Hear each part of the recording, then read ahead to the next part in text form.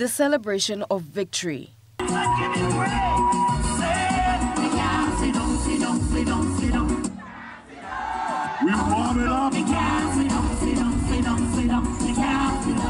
Four years ago, the New National Party won all 15 seats in the general election.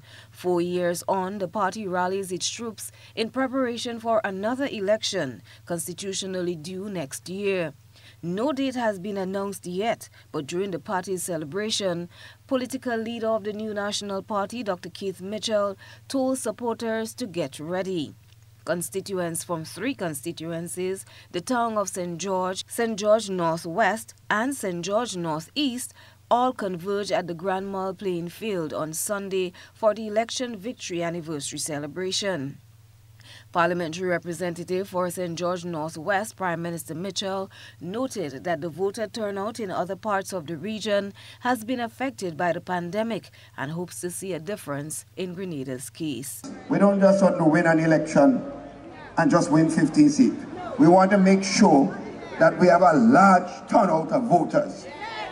Because the reports we have in many constituencies around the country in many parts of the world, the Caribbean, sorry.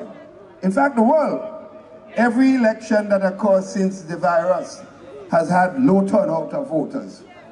So while people won, some case, all the seats, or some case, mostly all the seats, the number of people going out to vote have been low. Dr. Mitchell hinted once again what's ahead for the new National Party. Of you, Northwest, I want to thank you for 38 years, 38 years of parliamentary support.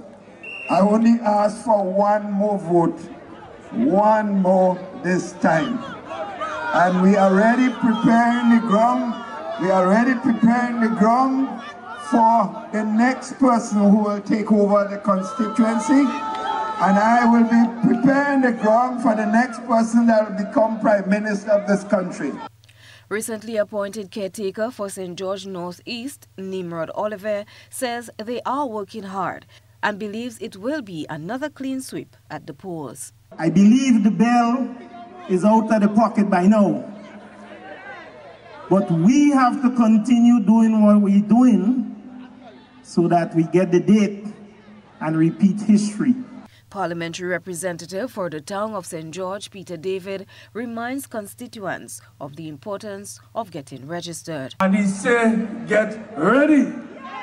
What does get ready means? One, you register. Two, you get your family to register. Three, you get your friends to register. And then you get your friends' friends to register so that we could win bigger game, Which means each one of you have to get ready. Now, I don't know when the Prime Minister can call it, but we start doing the work.